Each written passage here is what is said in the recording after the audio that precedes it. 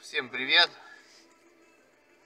Сегодня в очередной раз обстреляли наш любимый город Киев. Где-то в 5 утра начался обстрел.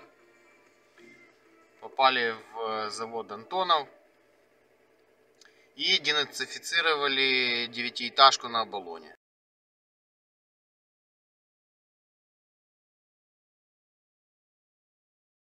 Так что, собственно говоря, вот эти все рассказы на тему того, что идут высокоточные удары по критической инфраструктуре, военным объектам и так далее и тому подобное, ну, я не знаю, только идиот может в это верить, в то, что обстреливают только вот эти вот объекты.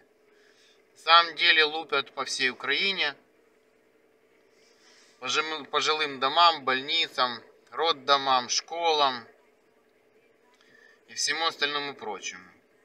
Я сегодня смотрел с утра кадры по телевизору, и мне, честно говоря, было э, непонятно, э, чем на самом деле, какую опасность составляла вот та бабушка, которая на носилках выносили из дома, и чем она вообще виновата перед оккупантами за то, что они разбомбили ее дом.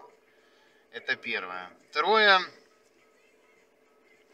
что меня очень сильно до сих пор я не могу понять этой идиотской, буквально дефективной логики недоразвитых оккупантов, э, то, что они обстреливают русскоязычные города.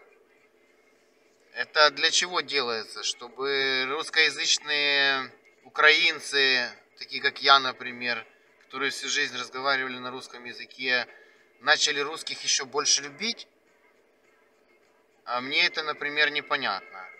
Э, те регионы, которые изначально были э, ну, в какой-то степени, где-то больше, где-то меньше, ну, так сказать, лояльны к России, э, сейчас просто дико озлоблены на то, что армия Российской Федерации убивает их родных, близких, родственников – Э, разрушает их дома и так далее и тому подобное.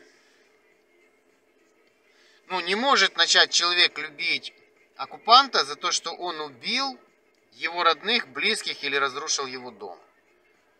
Э, ну, после того, как разрушили дом или убили кого-то из близких, человек просто берет автомат и идет воевать. Э, ну, то же самое произошло вот буквально сегодня в Киеве. Если мне удастся, я этот кусочек выложу сегодня, смонтирую и посмотрите. Ну, сейчас э, возьму документы и, да, наверное, пойду просить автомат. Уже выхода-то нету. Куда? Где? Зачем жить, если дом разбомбили? Возьму автомат, пойду в самооборону, дадут, не дадут. Ну, что-то буду делать. Вот. Ну, а в целом в Киеве сейчас вот и с утра стреляли, слышны раскаты, взрывы и так далее. А, вот. Э, ну, вот из последних новостей, вот э, обстрел города, денацификация девятиэтажки на Оболоне и а, обстрел завода Антонов. Есть э, погибшие мирные гражданские люди, есть раненые. Там количество уточняется, каждую минуту меняется. Через время будет понятно. Вот такие дела.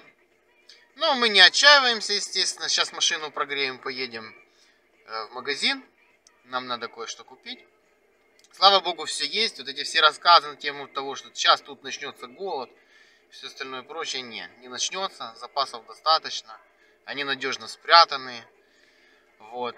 И э, я думаю, что все будет хорошо. Так что до встречи. Пока. Все равно ж придут, они на этом не закончат.